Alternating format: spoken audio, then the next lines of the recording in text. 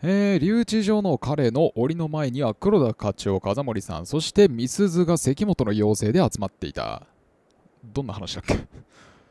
ついさっきやったんやけどな。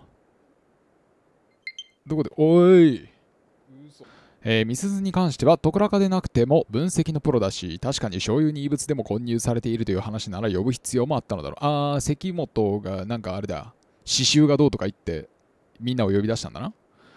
とはいうものの、私自身、関本の言葉の意味が飲み込めていなかったため、課長たちを呼び集める説明には苦労した。関本が何か呼んでるっつったら来るでしょう。刺繍というのが何を指すのか、何か妙なものでも混入していたのか、書いた限りでは私にはさっぱりわからない。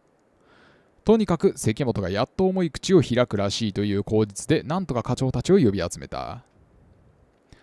でだな、関本先生よ。あんたようやく何かゲロるつもりになったのか？ああ、危うく吐くところだったよ。確かに宣告は冗談抜きでそんな状態だった。そうじゃなくてだな。いいか、関本。こっちもあんまてめえのおふざけに付き合ってられるほど暇じゃねえんだ。暇じゃないのと今にも横から余計な口を挟みそうな、えー、ミセスも顔色を見る限りぐっとそれを我慢して飲み込んでいた。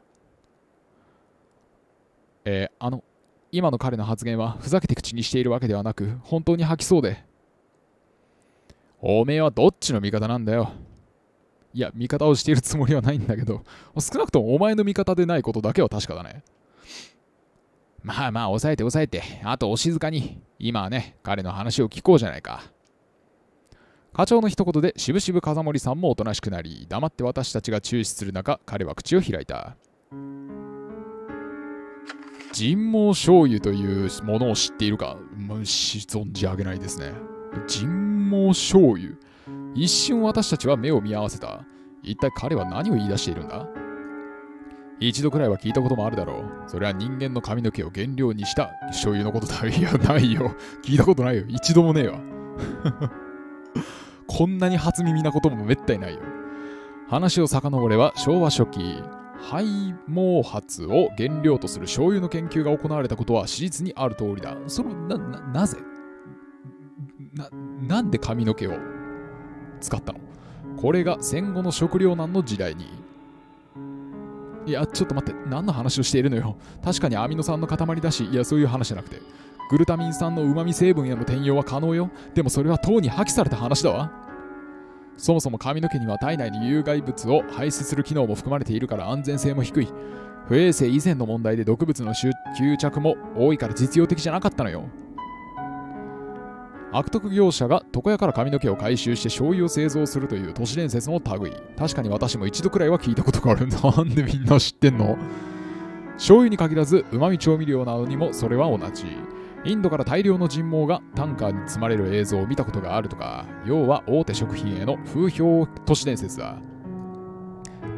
バッカバカしいなおいあれだろ？噂話大手バーガー屋で材料に猫なのミミズなの使ってる類だろ？ああそれはさすがに聞いたことあるけどねそんなに大量の猫、どっから調達するってんだ？材料が蛇なんてのもあったわね。まだ日本中のそこらに蛇がいた時代の話よ。髪の毛に代替されたのは蛇が少なくなってからよね。なるほどね。都市伝説の研究家らしい見識だ。それでそのヨタ話がどうかしましたかね？さすがの黒田課長もやや呆れ顔だ。私にしても正直彼は一体何を言い出しているのかとやや呆れていた。お前は当事者だろ。都市伝説と呼ばれるものには必ずその元となる話がある。大手会社で、えー、大手会社で使うことはなくとも、どこかでか誰かが何らかの手で打った行った痕跡が必ず見つかる。人毛醤油に関しても同じだ。それは確実に開発され、研究者の名前まではっきりしている。コストの面から実用性が認められなかっただけだ。実際に大陸の方で近年悪徳業者によって、肺毛髪やゴミから人毛醤油が作り出され問題になった。これはその国の政府広報でも明確にされた事実だ。まあ、それは事実として確かに存在する話でしょう。認めます。しかしそれが今回の件と何の関係が？そりゃそうだよね。君たちは何もわからないよね。私もさすがに我慢の限界が来て叫んだ。お前はだから当事者だろうが。叫ぶ資格はないよ。えっと、それは風評被害。ただのデタラメ。ただのデタラメそれは風評被害。ただのデタラメ。こんなことにカリッジポイント死んでも使いたくないね。あの、醤油の匂いを嗅いでそんな話を出すなんて、あなたの意見は砂堀さんのお醤油に対しての風評被害よ。そこまで言うなら証拠はあるの？都市伝説に元があるというのなら、食品関係で共通することが一つだけある。要は大手企業へのやっかみだ。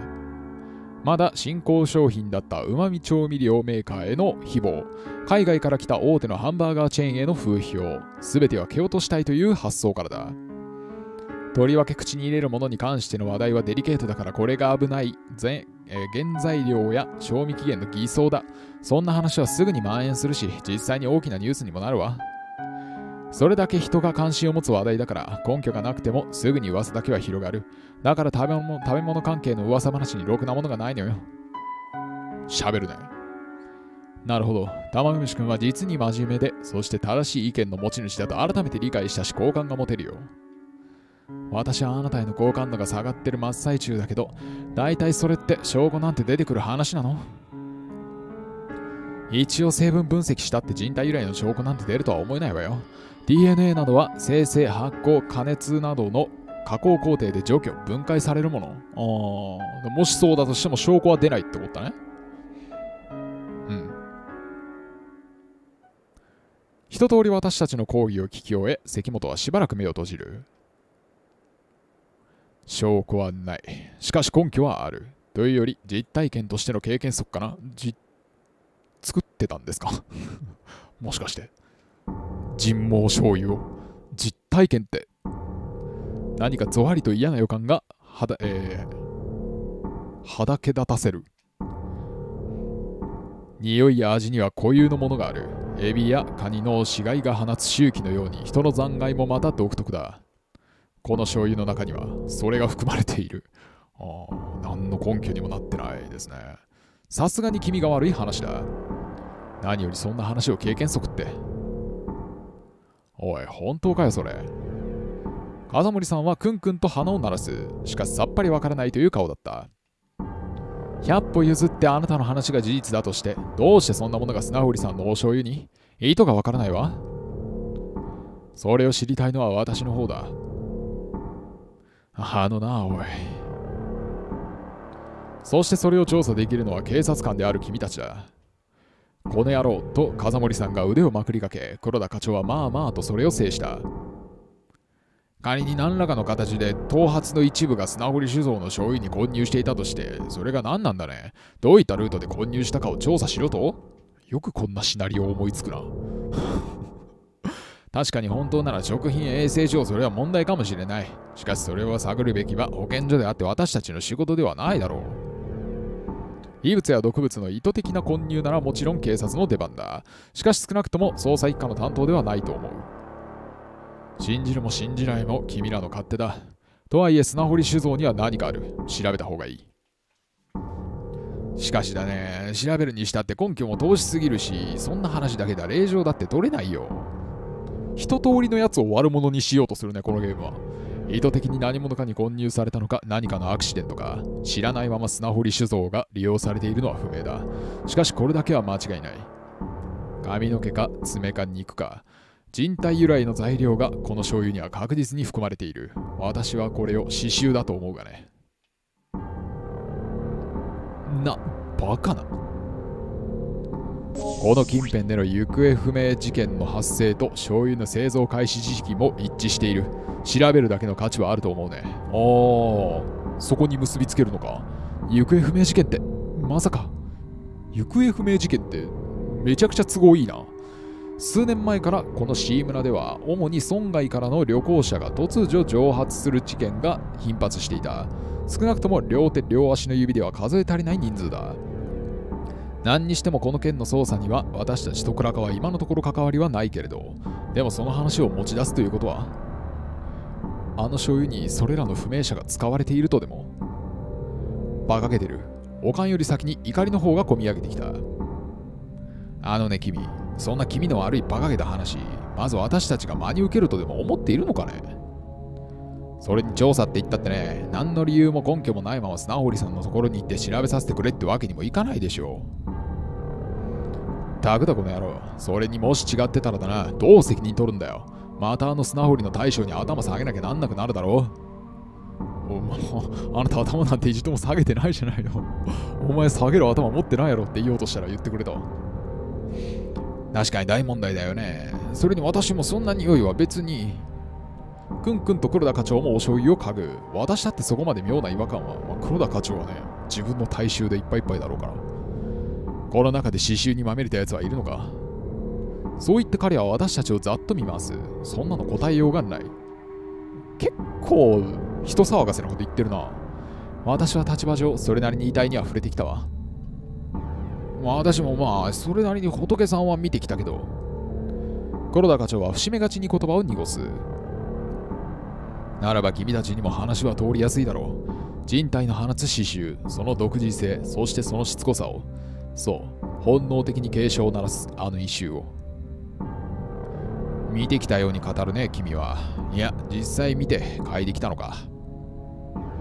あ、まさに急激にガクンと身体の放つ匂いが、口臭が、体臭が、不臭が、傷口から溢れる鮮血の匂いも全て屍の匂いへと変化していく。この,、ね、この手の中でな。こいつここにいて正解だな、拘置所に。一度その匂いを浴びれば全身にまとわりついて何度体を洗っても落ちやしない。それくらいしつこく、そして独自の強烈な刺繍が残る。淡々と彼の語る言葉にぞくりとする。なぜあなたがそんなことを？と口を挟む気にもなれない。そう、彼は当然のようにそれを知っているのだ。だからこそ遺体はい、い、い、いまれ、焼かれ、埋葬される。目のつかないところへと。同時にある種の嫌悪感は怖く的に人の心を捉えもする。シリアルキリングに見せられた者たちがそれだ。シリアルキリング。死体愛好家たち、愛好家というのもまた少なからず存在する。ああ、それはいそうだな。ま、待ってよ、ちょっと。真に迫る彼のその言葉は体験したものでしか得られない凄みがあった。私たちも全員ただ圧倒されていた。いや、あのね、ここでこれ以上君の講義を受けていても何なんだが、私たちは君のその直感だか経験だかを頼りに動くわけにもいかないよ。そもそも砂掘り酒造の醤油に本当に人体由来の成分が含まれてんのか？関本は何も答えなかった。しばらくの間、妙な沈黙が場を包む。関本の放つ言葉はやはり異常者のものだ。本来ならば本気にするまでもない。なのにその迫力と説得力に私たちも言葉を失っていた。何なんだろうこのチリチリとした感覚。嫌悪感や不気味さだけではない。妙な焦燥感。この男に毛をされて震えているだけでいいのかいや、そうじゃない。それを調べるのが私たちの務め。分かったわ。沈黙を私はその言葉で破った。お、おい、お前こんな奴の言葉を本気にすんのか？ここにコーチした彼の証言を記録し、その発言の裏を取る。それも私たちの仕事でしょ？この件に関しては怪しいけどね。全く関係ないでしょ、こいつがここにいるのと。一体彼の今の話のどこまでが本気か、悪質な冗談か思い込みの妄想か、そこまではわからない。これってあなたの興味対象のブラインドマンとどう関係あるのかしら？あるとするなら、これは偽物だろうな。偽物？関本はそれには何も答えなかった。呆れながら私もそれなりに納得する。彼がこういった回りくどい手を使うからには、きっとそこにも何らかの目的があるのだろう。いいだろう。乗ってやるか。血にまみれた彼の姿も犯行現場もそれは何かの間違いであってほしいと思ってはいた。それでも私は改めて彼が殺人者であることを痛感した。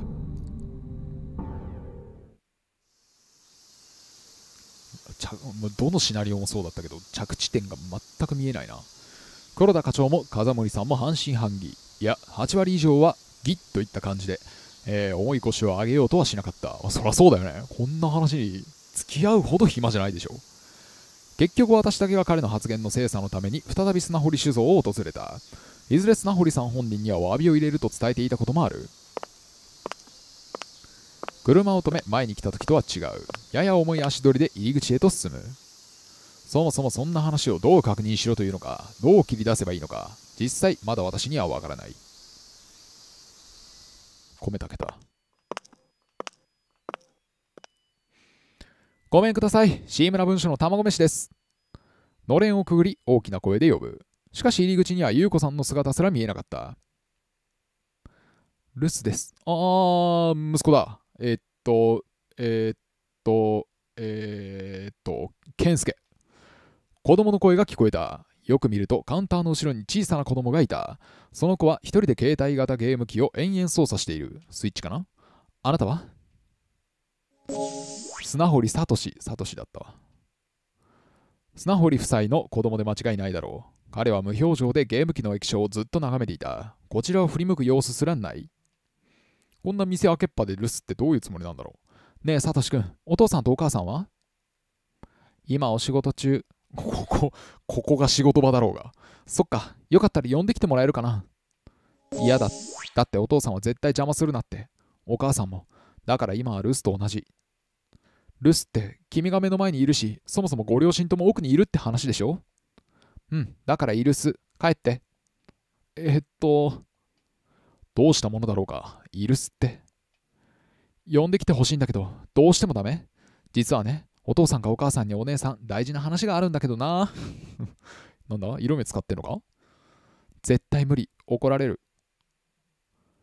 液晶画面から一切目をそらさず、少年は、まんえー延々とゲームに興じている。さすがにこれは困った。まあ、お前の色目じゃ通じなかったってことだな。このまま少年を無視して奥に入ろうか。いや、これ以上の失礼を重ねてはさすがにフォローが難しい。今日のところは空振りと諦めて、日を改めてまた来るしかないか。そう落胆ながら、えー、キビスを返そうとしたとき、おやおや、お困りのようですね。これはさては、津田沼だろう。入り口の方から誰かの声がした。あなたは？あ絶対そうだと思ったわ。妙な含み笑いを浮かべた男がそこに立っていた。ひょろりとした体型でラフな格好だがそう若くもない。ここの関係者のようにも見えなかった。おっと申し遅れました。私はこういうものです。以後お見知りおきを。綱沼だろ？慣れた手つきで男はひょいと名刺を手渡す。白地に文字だけのシンプルな名刺でその辺のスピード印刷ですぐにでも作れそうなものだった。大体の名刺はスピード印刷で作ってんだよ。フリージャーナリスト津田沼陽一。ジャーナリスト？マスコミ関係者がここを張っていたのか？それか私立探偵か何かの偽装かもしれないけど。慣れ慣れしくニタニタと笑う彼の雰囲気はやや怪しい。ノーネクタイで確かにサラリーマンにも見えないし、この肩書きを見ればなるほどと信じ込める風貌だ。例の殺人事件に関しては確かにマスコミからも注目を集めている。ましてや砂堀さんには動機らしきものも存在する。それをいち早く嗅ぎつけてきたのも理解はできるし、ここで張っていて警官であることを今名乗った私に声をかけるのもわかる。きっと隠れて聞いていたのだ。お見知りおきよと言われても、今日は私、非番で使用に訪れただけだから。まあ、これはもちろん嘘。あれれ、先日に引き続いての事情聴取じゃないんですか？よく理解している。どこで仕入れたのか、文書前で張り込んでいればそれくらいは察知できていたかもしれない。何にせよこの男は今一つ信用が置けない感じだ。担当の記者を抱えてリークを流す役目の刑事もいるが、そもそも気安くマスコミに流していい情報など私には。ご存知ないかもしれませんが、事情聴取の協力要請に警官一人で当たることはありません。ええ、ええ。ですけどあなた確か特殊経絡でしょ？知ってますよ？何でも補充人員による補欠？補充か。補充人員による通常の捜査員とは違った形式での活動をする部署でしたっけ？大した情報もね。とはいえ、名前とは裏腹に何か特別な捜査活動を担うような部署とは違うわよ。窓すらない窓際部署。そういう揶揄されるような場所だもの。そんな自分から堂々ということではないよね。だから私をマークしても何も出ませんよという含みでさっさと話を切り上げることにした。ええ、知ってますよ。吐きだめみたいな武士だとか。さすがに少しカチンとくる。じゃあ一体私に何の用なんだ まあ、吐きだめだね。と、悪い悪い。いや、風森さんからもそう聞いてるもんでね。何分本人がそう申告してるもんですから、つい、まあ、吐きだめの筆頭だからね、あれは。ヒゲというか、へりくだるというか、あの人の場合は、路悪的な自虐も平気で口にしますから、そう真に受けないでください。いや、まあ、事実だからな。いや、正直かもしれないけど、余計なことを言い過ぎでしょうに、風森さんも。とにかく、こんなところで話すのもどうかと思うわね。こんなところとか言うな。人の店ぞ。サトシ君の前で余計なことを口走られても困る。お前だよ、口走ったのは。私は一旦店の外に出た。道を滑らせたのはお前だよああ見込み違いかなどうなのかな私気になってたんですけどねここ一体この視点の何が気になるのかしら 私もねこれが飯の種ですからそう簡単に喋れませんふむいいってもうこのシステムマジでいらん。ふむお互いの探り合いな状態？このまま黙って知らんぷりでやり過ごすのもってか。しかし逆にこの男を利用できないものか。いらんよこれ。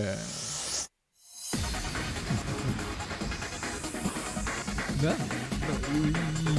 やるぞ。えー、話してくれない？田村さんの詩。田村さん誰？ああ田村さんね。えー、っと話してくれない？よかったら話してくれないかな？そのあなたの気になってること。まずはストレートに切り出してみるですから簡単には喋れませんって。そっちで何か教えてくれんなら私だって口は軽くなるかもしれませんがね。ああギブアンドテイクってことね。でもね真正面から話を切り出してもこっちの腹を探られるだけか。さ下がんの？は違うやろ。私一人でできる操作には当然限界がある。そして私の持っている新情報なんてそれこそ口頭無形で真偽不明な人毛醤油の話くらいだ。喜ぶよきっと。なんつうか実際のところあれですか？刑事さんの方でも何か握ってるんで？え？えー、っとともう教えましょうか？カリッチポイントいつも余るからな。結構使ってもいいのかな。そうね教えましょうか。そう言ってにっこり微笑む。え本当ですか？それって一体どんな人毛醤油ってのがあってたな。早速身を乗り出すように食いついていた。と言っても肩透かしを食らうようなそんなバカなっていうくらい口頭無形な話を。それでもいい？いやなんだって結構ですって。もともと私の得意先ってそう真面目な雑誌じゃないですからね。バカネタ上等。なるほど。何だって食いつくようだ。だとすると適当な情報を投げても大丈夫かもしれない。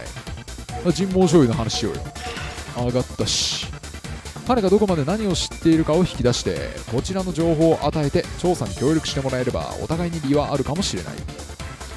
まずちょっと話を整理しようかしら。先日砂堀さんを署で事情聴取したのはご存知よね。なんで知ってんだって話だけどね。ノアさんこんばんは。えー、ま、蛇の道には蛇っつってね。面積的には広い村だけど人口的にはそうでもないんで。張ってりゃ網にもかかりますし耳にもしますわね。だけど聴取の後すぐお帰りになってもらったわ。そりゃあまたどういった理由で？に匂い？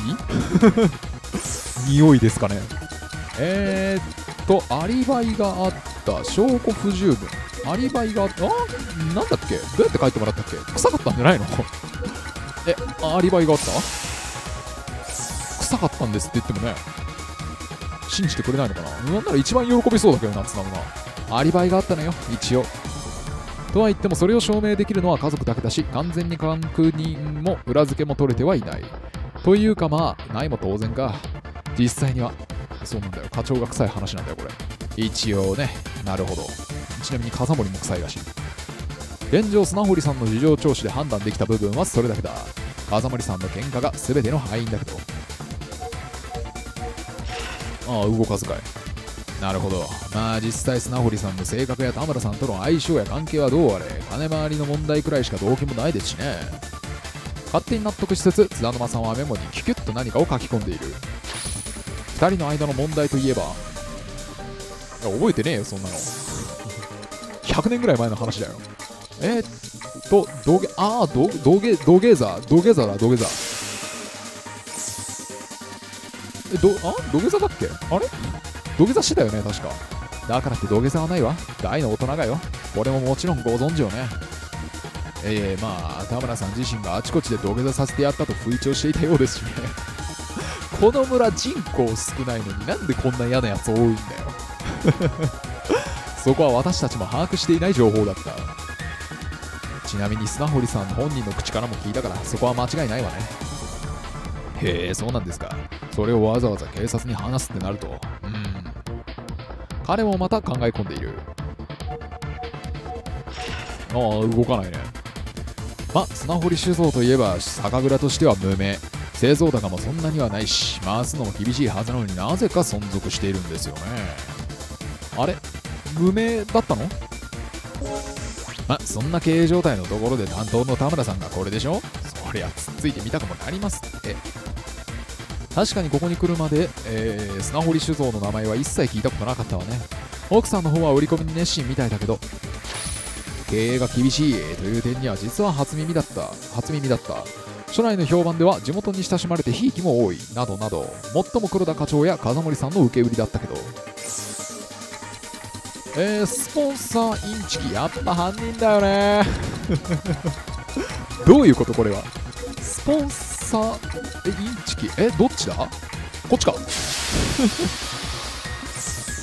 やっとるわあいつうんそうなってくるとやっぱ犯人だよねスタンホリさんがさすがにそれはないだろうと思っているけどいやいやいやんな安易な話じゃないでしょうし刑事さんがそうポロッと断言しちゃダメでしょ根拠も証拠もなしでなんでお前に説教されなきゃいけないんだよそう考えた方が一番楽なんだけどないや楽とかじゃなしにやや呆れためで綱沼さんは私を見ている。今のはさすがに適当な対応すぎたと反省する。俺ライアーズアート嫌いだわ。カリッジポイントまで使ってこのざまは何なんだよ。まあ大体あなたの仕入れてる情報は、えー、私の持っているものと同じって話をね。私の方はいくつか耳寄り情報を得ましたけどね。何しろ砂堀さんと来たら口数は少ないし人付き合いも薄いし。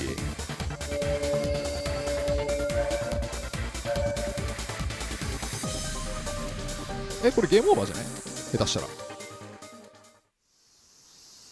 眩しい。ライト。えー、実際武骨な頑固職人である砂堀さん本人からの証言を警察での事情聴取で得たアドバンテージはあっても仕入れた情報でそれほどの誤差がないのは確か。全く中身なかったな。遅延でしょこのゲームの。とはいえ周辺への聞き込みなどを、えー、簡便に済ませる意味でも彼の情報は私にも影響あった。何かあった？徳倉には人数が足りない。だから足で探る広域の聞き込み調査には限界もある。津田沼さんお互いのためにも今後も情報交換をしない？少し考えてそれを彼に持ちかけてみる。もちろん歓迎ですけどその前に卵飯さんでしたっけ？もう一つ私に隠してる情報ありますでしょう。なんか隠してるっけ？課長が臭いとか？風森が脇がの可能性があるとかそういう話？抜け目ないわね。いいわ。交換条件ね教えてあげるでも聞けば呆れるわよ呆れる？それはどういった意味で？さて、どう説明していいものか。お前、それカリッチポイント中に言えよ。ライアーズアートで。関本に関しての情報までくれてやることはない。それを話せばそっちの方に食いついて面倒になる。いくつか現場で死体に接したベテランの意見よ。ここの砂掘り酒造さんの作った醤油から刺繍がするって。刺繍？え？醤油から？それってどういう話で？口頭無形だからこそ私らが裏を取りに来た。と。実際のところ黒田課長も風森さんも本気にはしていないし何より私だって信じたくもない話だった。一通り関本から聞いた考察をちょっと口にしはばかる点はサクッと覗きかいつまんで語る。津田沼は私の説明を聞いて目を輝かせていた。はっは人毛醤油そりゃまた面白いですいいですね。そういうすっとんきょうな話は、それこそこの雑誌がお得意なんですよ。私が契約してるところでね。ろくな人生歩んでねえな。この雑誌が人毛醤油興味あるか？週刊サラリー。こんな馬鹿げた話を聞いて、津田沼さんは喜んでいる。この表紙の女の子？沢、沢波蘭？このゲームの登場キャラクター誰よりも可愛いぞ。カバンから週刊サラリーというゴシップ誌を取り出した。派手な表紙には下品な芸能ゴシップが踊っている。国内に編集部を持つ週刊誌なんです。まあ、あんま上品な雑誌じゃありませんけどもね。それと若い女性向けでもないですし、ご存知ですかね。あなたの関わってる雑誌ってこれなの？コンビニで見かけるくらいで中までは読んだ覚えもない。そこそこ名は通った中高年向け三流週刊誌だ。パラパラとめくる。目次にはやたらと先導的な見出しばかりが踊っている。よかった。これでジャンプとか出されたら どうしようかって思うとこだったね。読み切り漫画書かされるとこだったよ。女性の私ではやや顔をしかめると大胆なグラビア。どこら辺が？あ中身の話か政治芸能の下半身話題にオカルトめいたネタ今時ないような陰謀説にネットで拾ったような珍情報。濃い絵柄の巻末漫画は古臭い劇画で明らかにポルノ。なるほど。まっとうなマスコミでもないようだ。ちょっとこういう雑誌読んだことないからわかんねえな。女子アナ珍事件。お宝映像。気になるな。本来ならば滋賀にもかけない相手であれ。ことこういった話題ならば預けても問題ない。そんな妙な安心感が私の中に膨らむ。でまたブリーフ1枚でやり合わせよう。今度は正治と。人毛なのかはたまた不明者の遺体の一部なのか。田村さんの遺体には目玉も歯もなかったんですよね。なんだったら人体丸ごとってこともありますよね。いかにもワクワクした調子で楽しそうに津田沼さんが微笑む。ああ喜んでくれてるようならよかったよ。どうやったらこんな話で面白がれるの？いやまあこういう話なんならちょっと一番ワクワクしてるまであるよ。これまでの話の中で。確かに少なからずの行方不明者に、えー、醤油製造の時期。このキーワードからそれを想像しないわけにはいかない。わかりました。そそこはこっちで探ってみましょう。世の中持ちつ持たれつです。実際警察じゃそういうのは表立って動けないでしょう。そうだからあなたに協力をしてほしいの。何かあったらこちらからも情報は提供するわ。ライアーズアートは何だったの？ゲームオーバーの気配が全くないんだが。そうなると私の方からも一つ伏せてたカード切っときますか。え？やはり彼はまだ何か隠していたのか私ね、当初はこっちの線で探ってたんですけど、おそらく卵飯さんとは違う部署で動いてるでしょうが、詐欺か横領の疑いがあるようなんですよ、砂掘りに。はあ。疑いって、あなたもまだ具体的にはつかめてないのね。興味深い話だし、一応頭に入れておくわ。詐欺なら捜査二課か。それじゃあこちらの耳にも入ってこないわけだ。とはいうものの、署内なら黒田課長の地獄耳にも引っかかりそうなものだけど。できれば警察内で何かつかめたようなら連絡お願いします。こんなインチキ雑誌とはいえ、スクープは欲しいんでね。自分からインチキっていうのもどうなのかしら。それにこいつの雑誌じゃないしな。契約してるだけでしょ。どこまでもちゃっかりした男だ。とはいえ彼とのやりとりは収穫だった。予定こそ狂ったものの今日ここに来たこともこれで無駄足にならずに済んだようだ。綱玉が一番このゲームで活躍してるまであるよね。